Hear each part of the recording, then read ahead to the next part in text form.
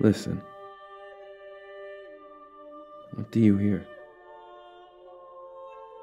These notes, every line that I have set,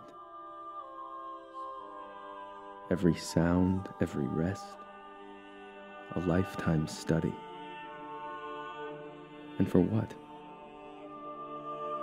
For her? Alone? What land is there for one soul's quiet faith?